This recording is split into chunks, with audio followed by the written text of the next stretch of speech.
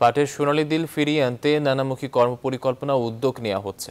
চলতি অর্থবছর শেষে পাট ও পাটজাত পণ্যের রপ্তানি প্রবৃদ্ধি অন্তত ত্রিশ শতাংশে উন্নীত করতে চায় সরকার।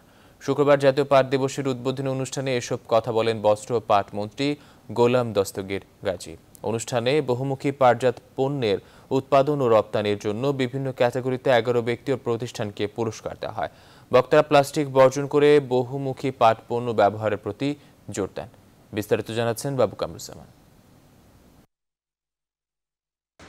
চলতি অর্থ বছরের প্রথম আট মাস শেষে পাট ও পাটজাত পণ্য থেকে রপ্তানি আয় হয়েছে প্রায় সত্তর কোটি ডলার, যেখানে প্রবৃদ্ধি হয়েছে চব্বিশ শতাংশ। পাটজাত পণ্যের বহুমুখীকরণ ও বৈচিত্র্যতা নিশ্চিত করা গেলে এআই আরও বাড়ানোর সুযোগ রয়েছে। জাতীয় পাট দিবস উপলক্ষে শুক্রবার নানা আনুষ্ঠানিকতা উদযাপন করে বস্ত্র পাট মন্ত্রণালয়। সকালে সচিবালয় থেকে অফিসার্স ক্লাব অভিমুখে বর্ণাঢ্য র্যালির আয়োজন করা হয়। পরে উদ্বোধনী অনুষ্ঠানে বক্তারা বলেন, পাটের সোনালী ঐতিহ্য ফেরাতে কাজ করছে সরকার। এ সময় প্লাস্টিক থেকে বেরিয়ে পরিবেশ বান্ধব পাট পণ্য ব্যবহারের তাগিদ দেন বক্তারা।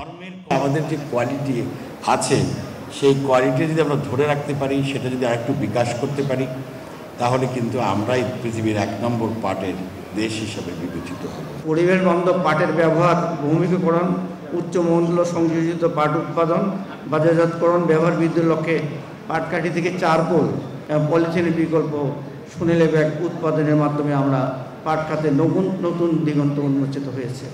আনুষ্ঠানিকভাবে এদিন এগারো ব্যক্তি ও প্রতিষ্ঠানকে পাটজাত পণ্যের উৎপাদন ও রপ্তানিতে অবদান রাখায় পুরস্কার তুলে দেওয়া হয়। অনুষ্ঠানে বস্ত্র ও পাটমন্ত্রী বলেন, আসছে জুন নাগাদ পাট পণ্যের রপ্তানি প্রবৃদ্ধি অন্তত তিরিশ শতাংশে উন্নীত করা হবে।